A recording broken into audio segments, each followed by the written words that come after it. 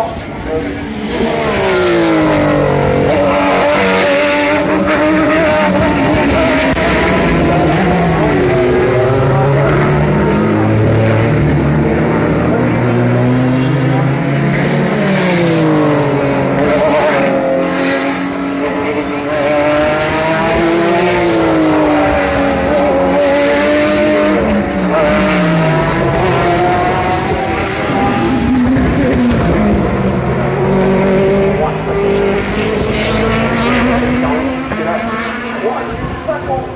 Et euh, 269e.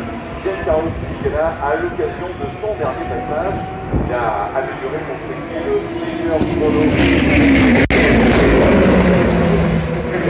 meilleur.